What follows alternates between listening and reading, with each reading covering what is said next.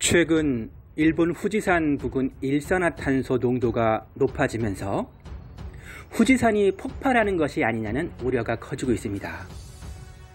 그 이유는 용암 분출 직전에 일산화탄소가 증가하고 있기 때문입니다. 올 1월 15일에는 남태평양 섬나라 통가의 해저 화산이 대폭발을 하여 순식간에 화산재로 뒤덮였고 한국의 대부분의 지역에서도 충격파가 관측되었으며 약 8,000km 떨어진 일본에서는 1m가 넘는 쓰나미가 몰려와서 5년여 만에 쓰나미 경보가 발령되었고 약 21만 명에게 피난 지시가 내려졌습니다.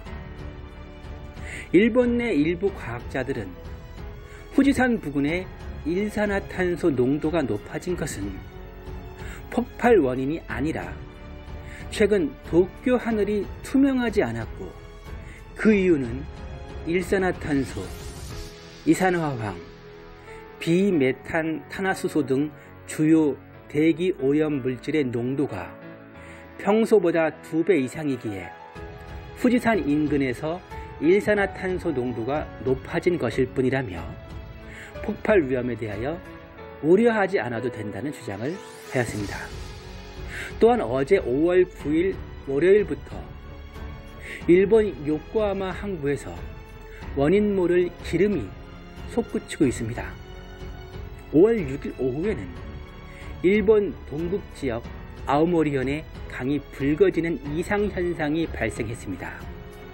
또한 도츠키현의 온천물이 탁해지고 있으며 온천의 양도 줄어들고 있습니다. 또한 후쿠시마에서는 방어가 대거 잡히고 있다고 합니다. 어류 관련 지진과의 연관성 주장은 계속되고 있는데요.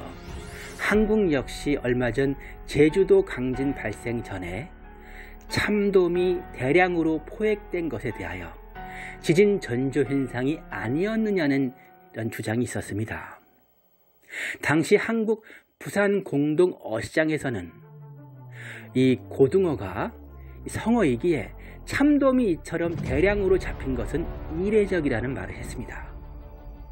간혹 이 고등어에 이 방어가 섞여 올라오는 경우는 있어도 참돔이 대규모 위판되는 것은 처음이라는 것입니다. 참돔이 지진을 감지하고서 피하려다가 그물에 대량으로 걸린 것이 아니냐는 주장들이 있었습니다만 어류의 지진 전조 현상과의 연관성은 과학적으로는 인정되지 않습니다. 후지산 폭발과 심해어의 출현 등에 대하여 너무 민감하게 대응하는 것이 아니냐는 반응도 있지만 최근 일본의 지진 사항을 살펴보면 화산 폭발과 지진에 대하여 우려하는 이유를 알 수가 있습니다. 최근 지진을 보면 대만 부근의 미야코지마와 요나쿠니 섬 그리고 오가사와라 제도 부근의 도리시마와 이오지마 그리고 오가사와라 제도의 서쪽 앞바다의 지진과 미에현 아이치현 사이의 이세만에서 강진들이 발생을 하고 있습니다. 지진을 자세히 살펴보면 오늘 5월 10일에도 후쿠시마현 앞바다에서 규모 4.3의 강진이 발생하였으며 도카라 열도 근해에서도 규모 2.8의 지진이 발생하면서 후쿠시마와 도카라 열도의 공포가 또다시 시작되고 있습니다. 어제 5월 9일 월요일에는 일본의 미에현과 아이치현 사이의 기소강의 입구에 위치한 이세만에서 규모 5.1의 강진이 발생하였으며 진원의 깊이가 340km로 깊습니다. 또한 대만 인근의 일본 요나쿠니 섬 근해에서도 어제 규모 6.6과 5.4의 강진이 발생을 하였으며 어제도 동북 지역 후쿠시마와 미야기현 앞바다에서 규모 3.9의 지진이 연속 발생을 하였습니다.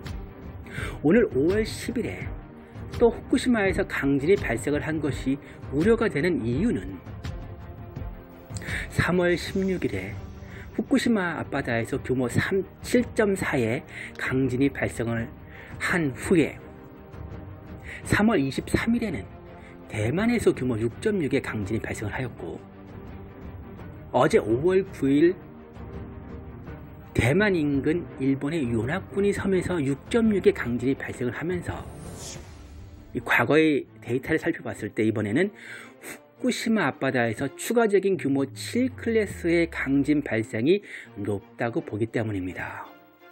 물론 일본의 어느 한 지역만을 위험하다고 볼 수는 없습니다. 최근 일본은 난카이 트라프 태평양 쪽에 이 오사카나 시코쿠 주변 지역을 가장 위험하다고 보고 있었고 그 다음이 이제 도쿄 수도권을 중심으로 한 수도 직하 지진을 걱정을 했었는데 전혀 생각지도 못했던 후쿠시마 앞바다에서 3월 16일에 규모 7.4의 강진이 발생을 하면서 결국 일본 열도 전체가 지진 위험이 있으니 모든 지역을 조심해야 하는 것을 또 한 번 인식하게 되었습니다. 예측하기가 어렵다는 것입니다. 도쿄 대지진에 대하여 얼마 전에 일본 정부에서는 앞으로 30년 이내에 지진 강도 7 이상이 올 확률이 70%라고 이야기하면서 거기에 대비해서 시뮬레이션도 공개를 하고 있고 방제 가이드북도 공표를 하고 있으며 일단 피해 예상으로는 사망자는 만 명에서 2만 5천 명 정도 부상자는 몇십만 명 그리고 피난민은 300만에서 500만 명 정도를 예상하고 있습니다. 그리고 재산 피해액은 90조 엔 이상의 피해 규모를 상정하고 있습니다. 일본에 사신다면 가능하면 목조 건물이 밀집되어 있는 지역이나 아니면 매번 수해가 나는 물이 잠기는 지역에 사신다면 평소에 가정의 방제용품을 미리 준비해 놓으시거나 물이나 생활용품을 미리 비축해 놓으시는 게 좋아 보입니다. 시청해 주셔서 진심으로 감사드리겠습니다. 구독과 좋아요, 알람 설정을 꼭 부탁드리겠습니다. 이 채널을 운영하는데 큰 힘이 됩니다.